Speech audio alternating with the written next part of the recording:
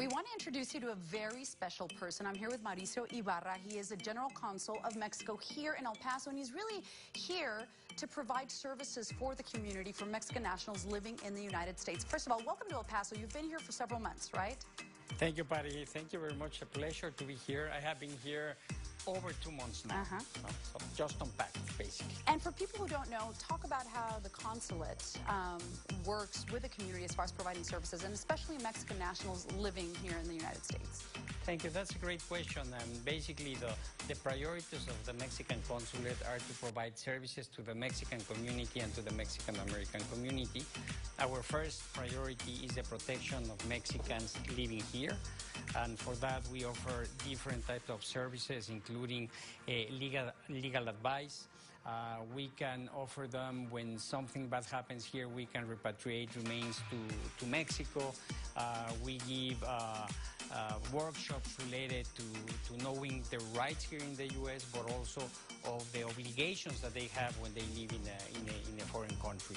Um, we try to to tell them uh, to try to avoid certain things so that they won't get in trouble. So that's part of the of the protection. We call it protection services, uh, but we have many more. Uh, we have, um, as part of the link with the community, we have uh, social type programs. For example, we have what we call Ventanilla Yes. de Salud or a health window. And basically what we have is preventive health advice that Yes. we give to the community. Uh, we can refer them to low-cost clinics so that they can they can uh, be treated for specific ailments.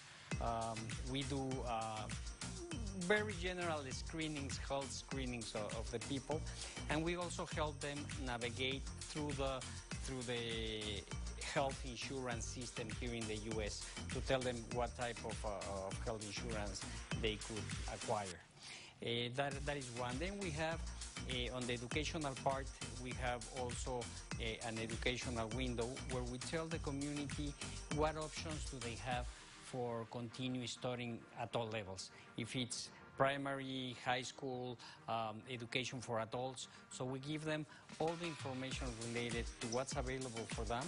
Um, we work with different uh, educational institutions and we uh, tell the community if there are, for example, the scholarships available for them or what type of, of relief they could get if they go to certain institution.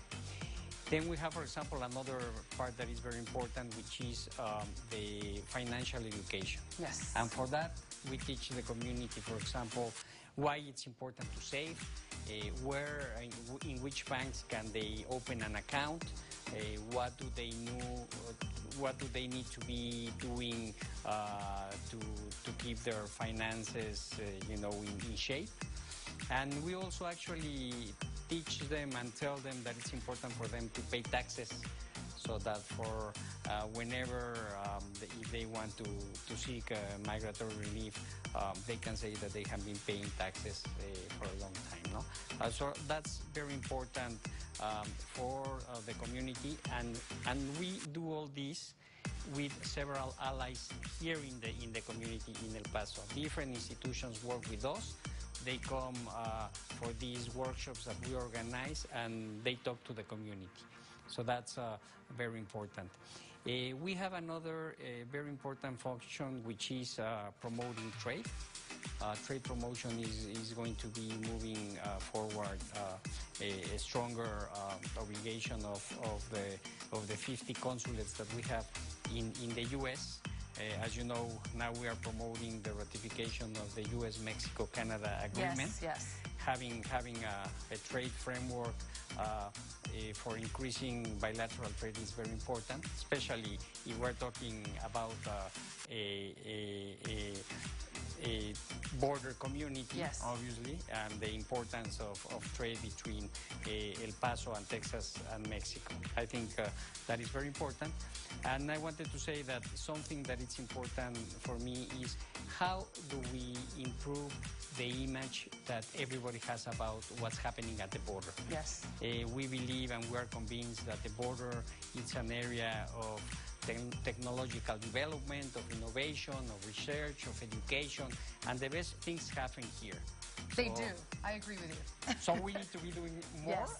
to raise the awareness and that people that live outside the border know exactly what the border is about. And it's an amazing place to live. And so we're going to have a list of all your workshops and events and services on our website.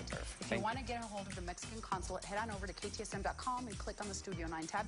Thank you so much, Mauricio, for being on our show. Thank you. Thank you. It's a pleasure.